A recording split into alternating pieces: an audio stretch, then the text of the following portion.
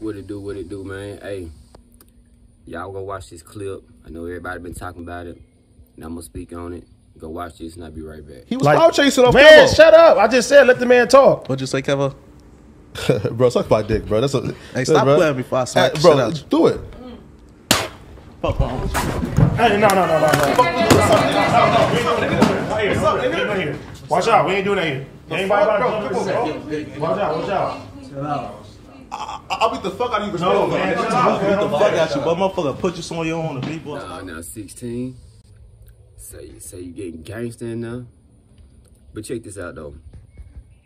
So I guess all this stem from they say 16 slept with Bandman Kevo wife, right? So he doing an interview with this dude Flakko, and dude can say whatever he want, but he was be disrespectful, man. I'm surprised 16 didn't do that sooner. You feel me? That's how I feel about it. But then I watch clips. They got another girl that's on No Jumper, you know, 'cause he be having all these hood folks come on there now, the podcast. Need to holler at your boy. But either way, he got this girl, Gina. She get on there. And she just spits the truth. And I read the comments, and everybody talking about how she hating it. She just wish for Flakko downfall. Nah, bruh. When you a man and you speaking down on another man, you better be ready to hold up for that. Cause ain't nobody gonna let you down talk 'em. Especially if you in, their- in your in their face, man. I wouldn't even talk to you that long, man. It would have been on in probably about ten minutes. The way you talking, bruh. I- Uh-uh.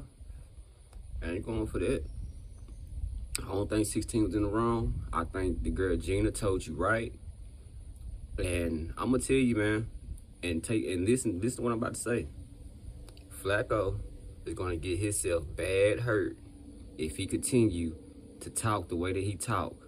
Cause the way he talk, he think life don't come with consequences. But I'm gonna tell you, bro, it do. And you just seen half of it right there.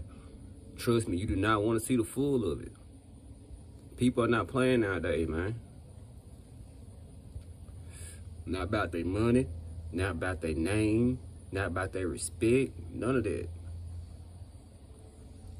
Like I said, I'm surprised he didn't get on you sooner. But either way, bro, you gotta watch what you say. I don't care. I don't care how many people you got into it with. and everybody this one's just lie though. But either way, everybody say that. But yeah, the stuff he say on the podcast, when the people come in, he'll say it to them too.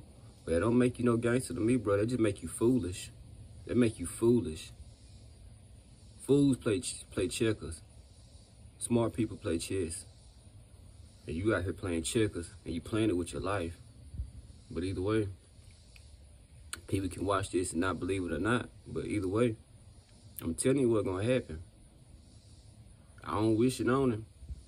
But when you talk a certain way about folks that ain't that ain't no suckers or whatever, hey, if you mess with a bull, expect the horns. Ain't that the saying?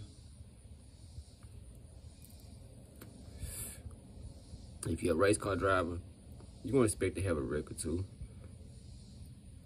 If you one of these people like down here in the south, they be doing these gator gator farms and stuff. Expect to get bit, scratched or something. Something gonna happen.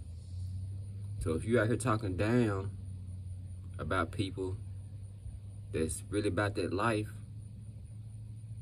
expect to get brought into that life. You feel me?